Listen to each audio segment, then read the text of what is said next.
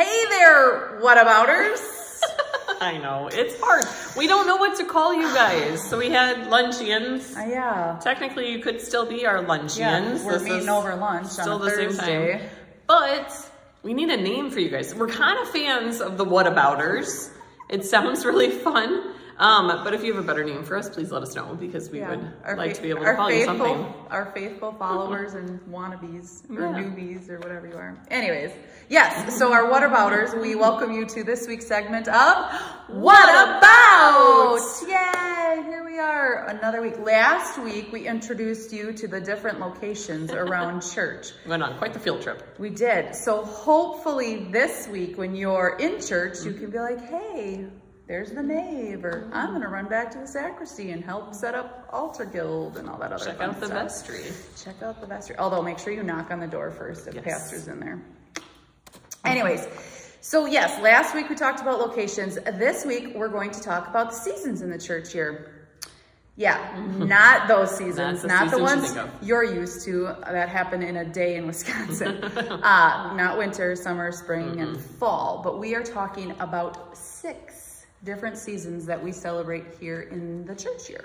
Yeah, and being the wild and crazy Lutherans we are, the seasons of the church year don't exactly match up with our calendar seasons. Not at all. So our church year calendar actually starts at the end of November, early December, depending on how things fall. And it starts off with the very first season, which is Advent. Yeah, so here we have the different sections and we are going to talk a little bit more about them today.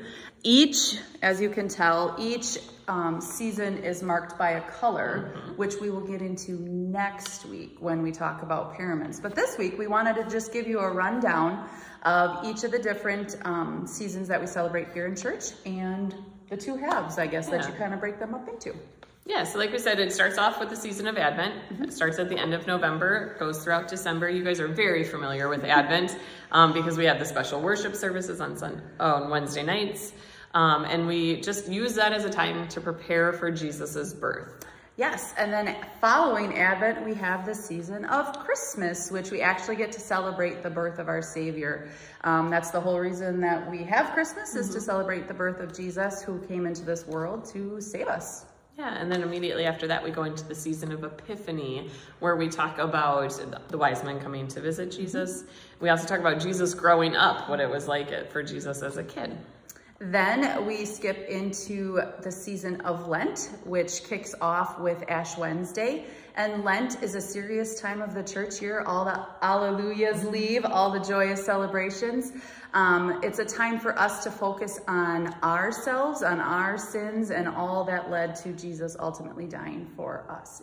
Yeah, and then after that really dark period where things are a little more subdued, a little quieter, um, we get into the most joyous parts of the church Yes. year, the season we're in right now, Easter. So on Easter Sunday, all those alleluias come back out. We celebrate the resurrection of our Savior.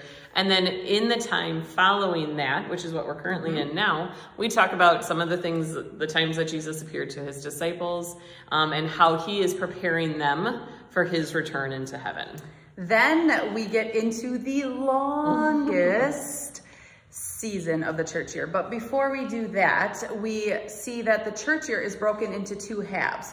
So what we just described to you, Advent through the time of Easter, we talk about what God does for us. So obviously he sent Jesus to save us. He was born. Um, Jesus died, rose again for us. Now we enter the season of the church year in which we see God working through us in the world. And that kicks off on the day of Pentecost when we received the Holy Spirit. Um, on the day of Pentecost, when the flames appeared on the disciples so that everybody could understand the Bible in their own language.